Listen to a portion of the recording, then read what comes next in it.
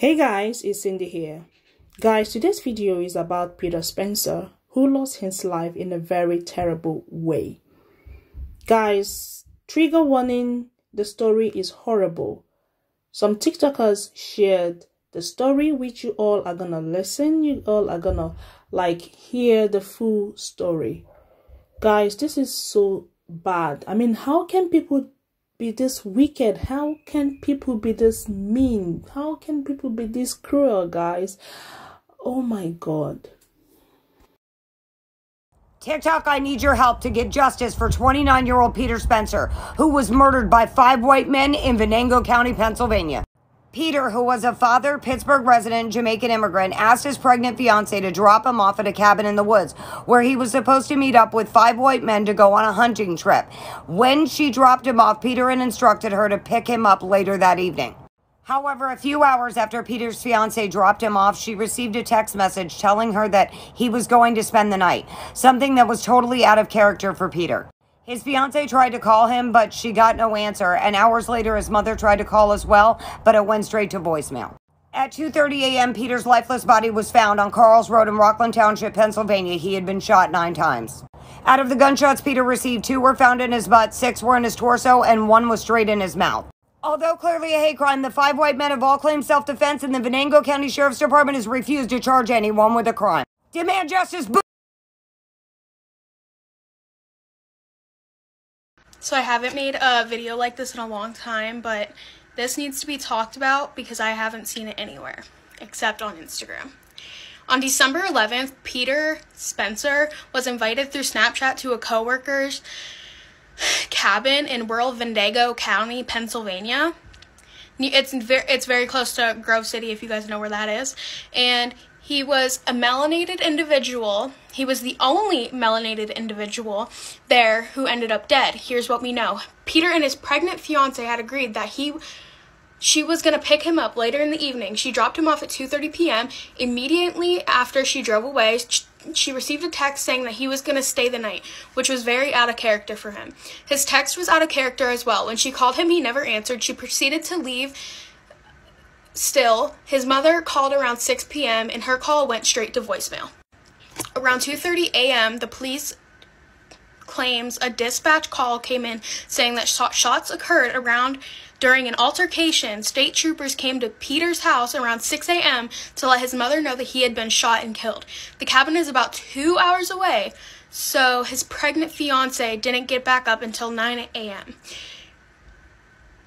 The state trooper informed her that the police and forensics team had just gotten there at 9 a.m. The man that shot him claimed that they were intimidated by Pete and said that they had to shoot him in self defense. Autopsy reports that he was shot nine times twice in the butt, six in the torso, and one directly into the mouth. The butt shots suggest that he was running away, especially because his body was found in the driveway, a sizable distance from the cabin. Okay, so then it also it also says that the shots were close enough that you could see burn marks from the barrel, also suggesting that his body would have been turned over. The last shot was close range, directly in the mouth.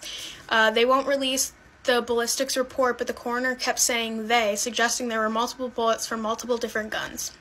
How is it self defense if the person is running away? How are you so intimidated that you felt comfortable getting close enough range to put the barrel to his chest and then directly in his mouth? Would you shoot someone in the mouth in self defense? Would you require multiple people shooting at someone who is just intimidating? The suspect also invited him to the cabin via Snapchat, which is also a messaging service that disposes of the chats after 24 hours. Hmm. Think about that. We also believe they may have taken his phone in the in the seconds that he got there and forced him to text his fiance he wasn't coming home that night. He never answered after 2:30 p.m. daytime. This is Peter Spencer. Say his name. The father was killed under suspicious circumstances and his family and community are demanding answers. December 11th of this year, Peter Spencer was dropped off at a remote cabin by his pregnant fiancee to camp with five white men. Peter told his wife to pick him up that evening. After she left, he received a text stating that he was going to stay the night. This text was out of character. When she tried to call him, Peter didn't answer. Peter's mother called hours later and it went straight to voicemail. 2:30 a.m. a shooting at the cabin was reported. Peter's fiance drove 2 hours to the cabin and arrived at 9 a.m. Police and forensics team had just arrived. That's a 6-hour plus gap between the 911 call and police arriving on the scene. 29 year old Peter Spencer was shot nine times twice in the butt, six in the torso, and once directly into the mouth. The men who shot him are claiming self defense. Multiple guns were found at the scene. This happened weeks ago and no charges have been filed. Police are refusing to give any information to Peter's family. All right, we're going to talk about Peter Spencer. If you guys haven't heard about Peter Spencer, let me fill you in. Spencer, who was killed recently, was a Jamaican immigrant living in Pennsylvania. So the story is that Spencer's wife dropped him off to go hunting with a coworker and some other people. Now, from what I take from the article, it states that trips like this had happened before, but the fiance did feel a little uncomfortable because they took him directly into the woods and not into the mother's house this time. Now, when she went to go pick him up less than 24 hours later, he was dead. Peter Spencer was shot nine times, six times in the chest, twice in the buttocks, and one in the neck. Now, a 25 year old man was brought into custody for questioning, but he was later released, and now that man is claiming self defense.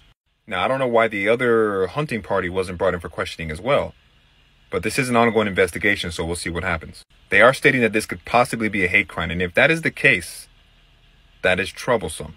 Now I'm going to keep my eye on this case because it is very odd and a bit unexplainable, but hopefully the investigation can explain exactly what happened.